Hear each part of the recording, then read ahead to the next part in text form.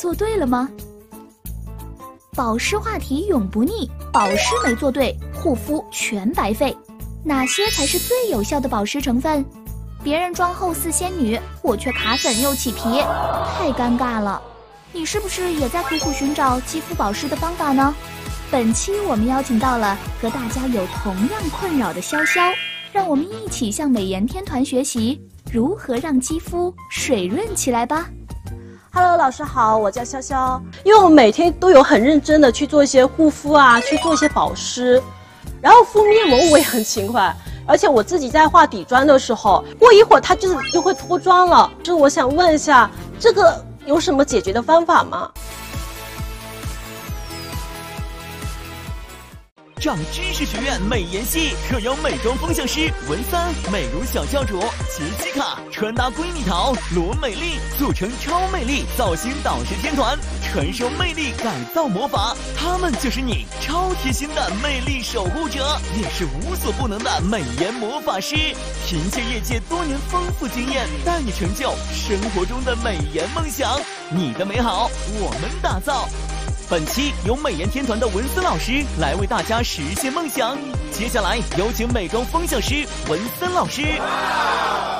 Hello，Hello，嘉你好，老师好，你好，请坐。好，接下来呢是一个很重要的环节，哦我相信很多女士啊都会非常的喜欢，嗯就是说妆后的一个保湿如何去做到最好。那哦我相信呢，你平时也有化妆的习惯对的，啊。那你化完一个底妆以及全妆之后啊，出门大概呃一两个小时时间啊，会发生一些什么样的变化？会有吗？嗯，有时候会就是皮肤就很崩的那种感觉，又很干，然后有时候就会甚至会起皮，就是一小块一块的皮。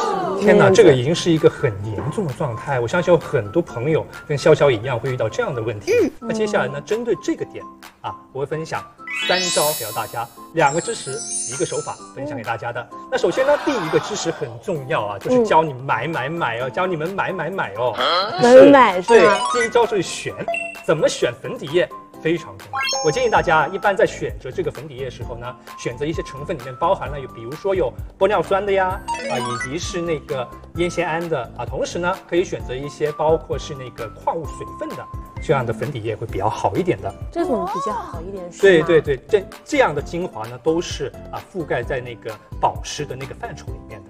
啊，所以呢，选择这样的粉底液就没有错了。所以呢，嗯选是非常重要的一步。嗯啊，这是第一点，第一个知识啊，大家一定要记住啊。第一个知识是选，那第二个点呢，就是量。量对，量，大家猜一下是什么呀？这个量是关于什么？你来猜一下。用量。对啊，用量对。，bingo 非常好啊。嗯那所以呢，用量多少是很重要。哎，潇潇啊，嗯你涂粉底液一般会用多少量？我一般用的话就挤一包，然后大概就是，呃，一个黄豆的量吧。一颗黄豆的量啊。对的，大家是不是也是用一颗黄豆的量呢？不是，这不是对的吗？我觉得有点太少了啊！我这个意思不是说你脸大啊，就我是觉得太少了一点点哎。少了对，来你来滴，我我给一瓶你来滴一下，嗯你来滴出你爽需要的那个量啊。哦，我来滴一下，大概对你滴在我的手上，哦，我试一下，哎，大概这么多，差不多。你觉得这么多就已经是够了。啊？如果你的肌肤在一个很干的状态之下的话，你觉得能抹得开吗？你再滴，再滴再滴，再加，这么多，不够，还不够不够，再滴。啊？可是好够了吗？OK，差不多了。差不多了，对，差不多了。这么多的吗？其实这已经不算多了。你想一想，我们要全脸均匀的去覆盖这个粉底液，嗯同时要让那个肌肤完全能覆盖到那个精华的状态，这绝对还不够。我觉得还不够如果是我个人的话，我一般建议大家，这个粉底液的量啊，一般来说是用一个食指头那么多的量。哦，对哦这么多啊，但在这在这个时刻，我相信有很多的女士会想，那么多的量啊，我我相信你也会想，那么多的量会不会说那个底妆很厚的那个状态？会不会很堵啊？是很多人会想这个问题，那接下来呢，啊，我会帮他去解答这个问题。所以呢，第二个知识点量啊，就是一个十字头的大概的一个量就 OK 了啊哦。这前提是啊，比如说你钻气啊，嗯你的肌肤会发生很干的一个状态啊对对对等等一个状态的时候，就可以需要那么多的量了。但如果比如说当时的那个呃空气环境湿度比较高的，你可能可以减半的一个量。哦，根据一个天气是吗？对对，我建议大家是根根据这个天气、肌肤的状态啊去选择的话，哦会比较好一点点啊。那所以呢，这个量呢是针对一个肌肤比较干的，想要长效保湿的一个状态是最好的。哦 OK 就多一点好一点。对，相对多一点会好一点的、哦啊。那那接下来我要解决这个多一点啊，太多了怎么办的一个问题。那去到第三个部分了。那我建议大家呢用一个刷子会比较好一点，因为呢、嗯这样可以均匀的涂抹，刷子呢可以抓附很多的粉底液，是吧？对，可以均匀的涂在我们面部的每一寸上面啊。好，那我们来试一下啊。来，我们先涂抹一点点。之后呢，一般呢我会以那个肌肤的啊鼻翼的位置开始涂抹啊。来，大家看一下这样子的涂抹会不会很均匀的效果啊？虽然看上去有一点点厚啊，但不重要啊。咱们先涂了啊。大家可以看到那个粉底的精华完完全全可以覆盖在我们的面部状态啊。一般呢，我们的眼下的位置、细纹的位置以及眼尾那个眼尾的位置呢，都很容易会干的厉害一点点，出那个细纹的状态。所以呢，我们涂的量多一点点也没关系啊。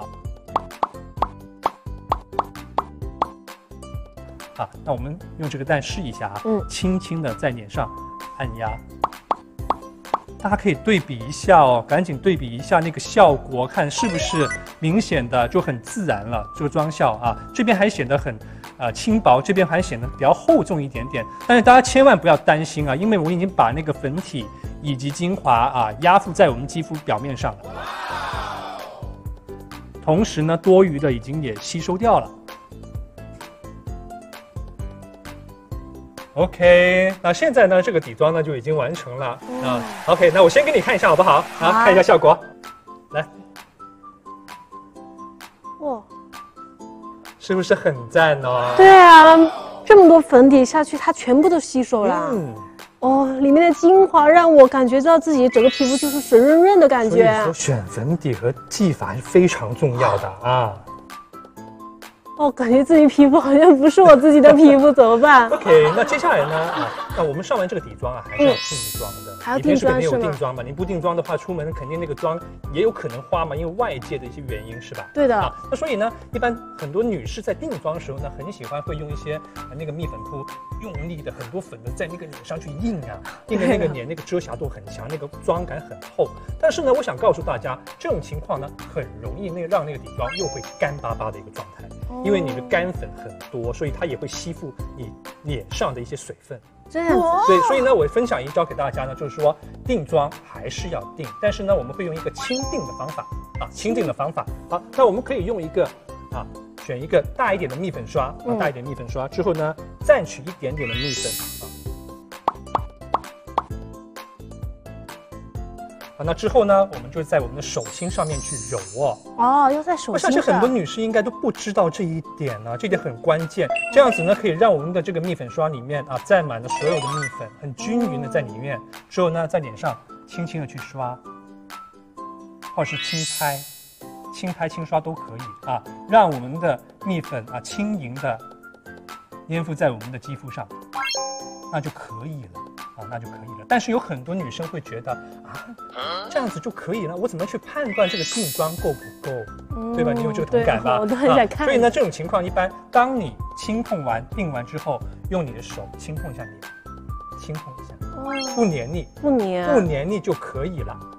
而且很舒服。是啊，就已经是足够了，对已经是足够，不黏腻就已经是足够了哦啊。所以呢，它只是很薄的一层在上面啊，没有很多的量啊。嗯这样的定妆呢，这样整个底妆的效果就会很轻盈、很保湿啊，就是说同时能解决妆效的问题，又能解决保湿的问题。